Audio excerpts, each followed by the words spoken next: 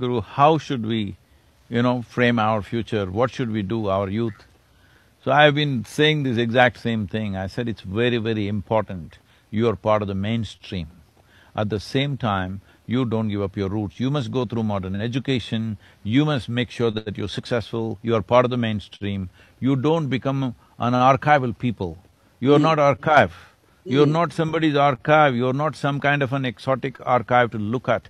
You're living people, you belong to this generation, but at the same time don't give up the roots because if you leave your roots, the tree will anyway die, okay? Today, you ca- the, the leaves may be green and tomorrow it'll become brown, that is in no time. But the important thing is the roots are nourished.